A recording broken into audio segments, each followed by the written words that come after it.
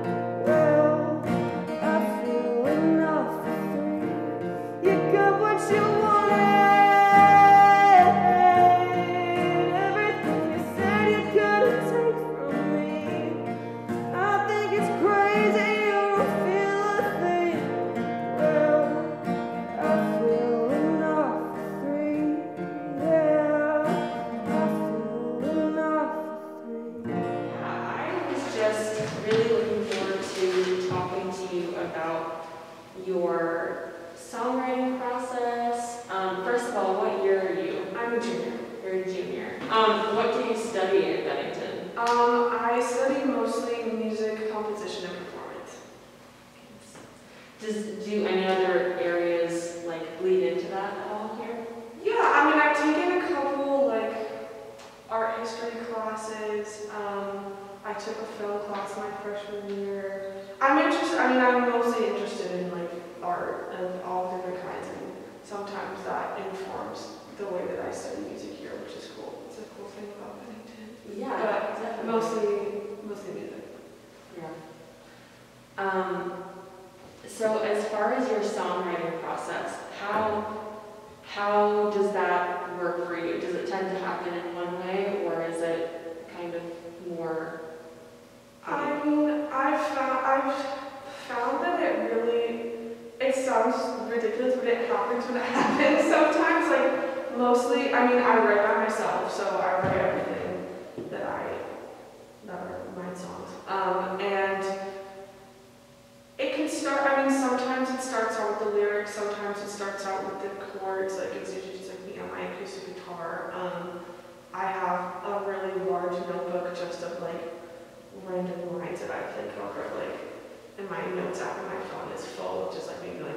like just kind of throughout the day. Um, and then sometimes I get really lucky and like flush out an entire song in like 20 minutes, and then other times it takes me a week, it takes me a couple months, it really kind of depends.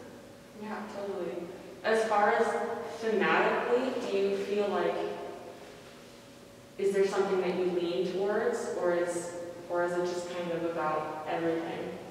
I mean, I feel like I mostly most of my songs are, I mean, everything I write is really personal. Um, I found that most of the songs that I write that I end up keeping or that I feel strongest about and that other people feel strongest about are stuff I've written about, like past relationships, whether like romantic or like other. Um, so I would say about that. Yeah, I very much relate to that. I feel, I feel like your, your work, as I've heard it, is, has always been very um, emotionally conscious. And it, it feels really genuine, which is like, just, I really appreciate that about your work. Yeah.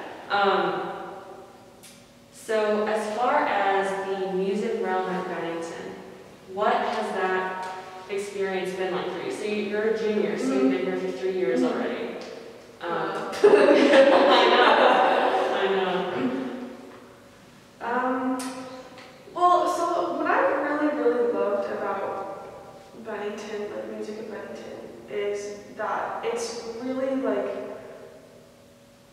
I feel like I've been able to focus on exactly what I want to focus on and what I've always wanted to focus on before college, which is ultimately just like being a better musician, being a better performer, and but I'm also like fed through the tube of what I want. I'm also getting some theory and I'm getting some like different type like music history and like that kind of stuff. But it's very much always been focused on the individual student, and then we all kind of learn from each other as well, which is really cool. Um, I I have always found the music department has such a large like eclectic range of faculty too, which is really cool. I've never gotten the same experience twice in a class.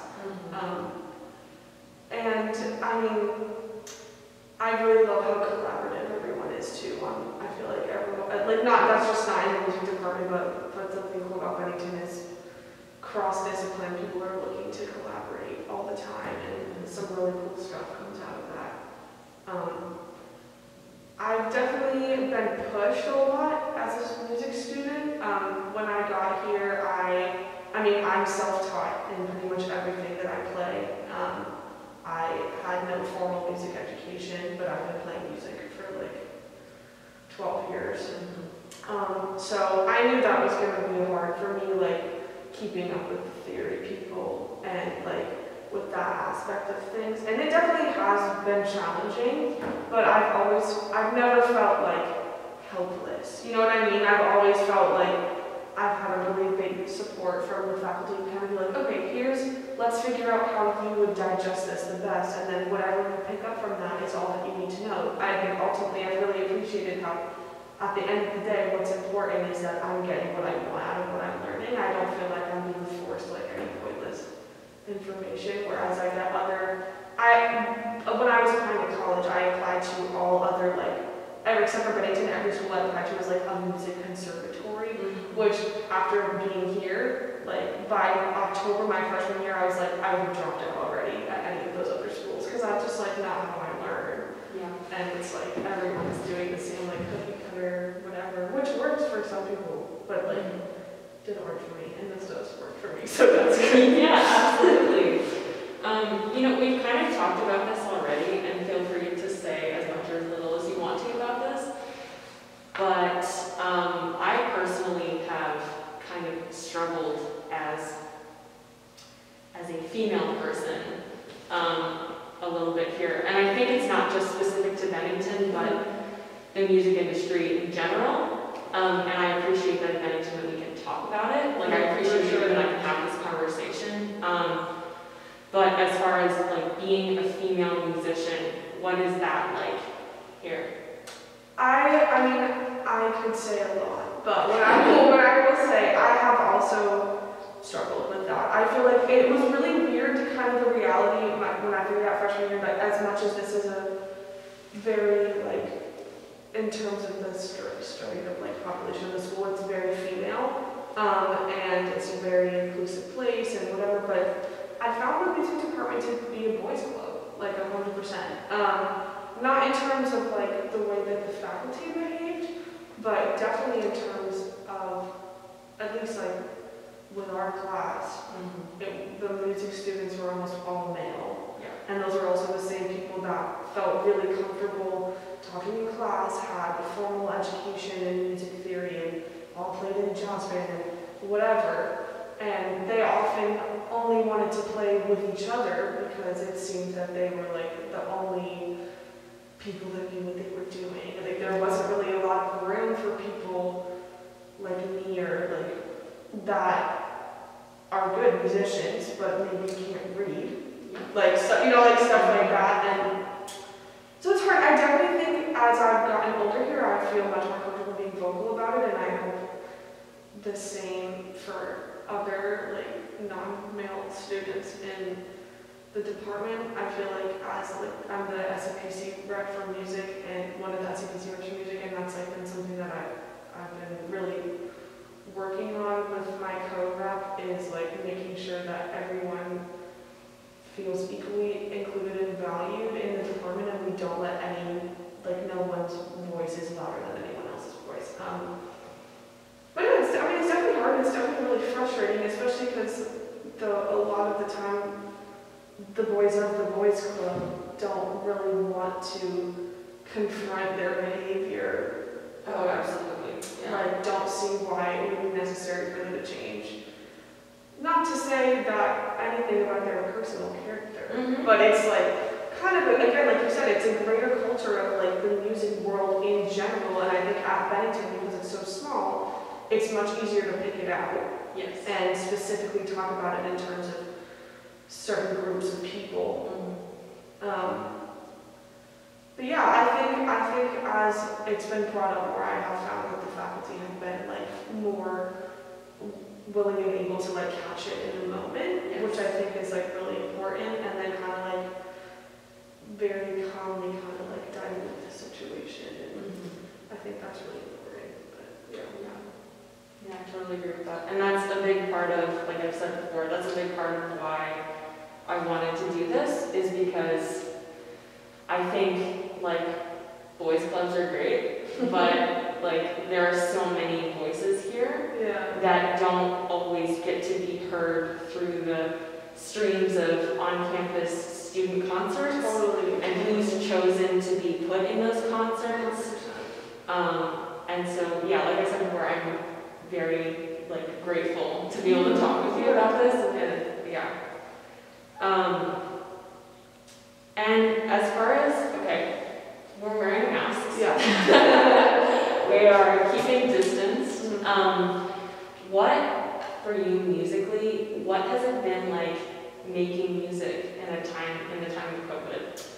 Um, I mean, honestly, it's been really hard. I found that like I, I was, when I was home, when we all went home, and like through the summer, I was having a really hard time feeling creative, just because I felt so stifled by everything that was happening and that is happening. Um, I- it was a weird regression being at home. Not, I mean, I love my home, but I'm like, I'm 21, and like, you know what I mean? Like, it felt hard, and but there were certain things I did, like for a while I was doing, like every Friday I was doing like a live stream concert on my Instagram page, oh. which for, for like 40 minutes, like every week, which was really, I mean, it was, it was really nice for me to feel like I had something that I, I would like do like five new songs every week and I would, it would be like something good for me to practice and like work to. And then also it was nice to feel like I'm still engaged with the people that like to watch me perform. So that was cool. That was like something that I did. Um, I mean, it's really, I mean, it's hard. Like I was talking to my advisor last week, being like, I'm having a bit of an existential crisis because I'm here in college studying to be a live performer, essentially, and live music is canceled for the foreseeable future. So like, what am I doing here?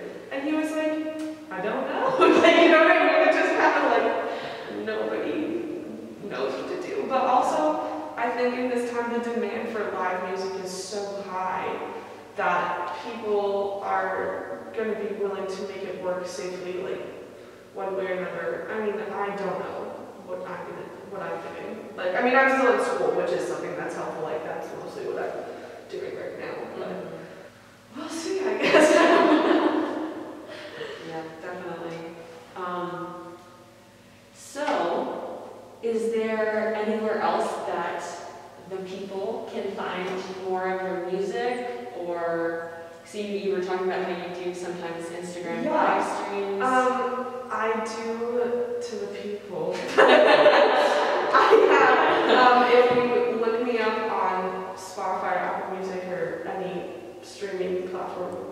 just Maddie Wood, Amazing Black Wood. My song is there. Um, I'm releasing some new stuff soon, which is exciting. Um, and my Instagram is at womanwood underscore. So then I post a lot of music stuff on there. Um, yeah. Perfect. Thank you so much for doing this. Yeah, thank you.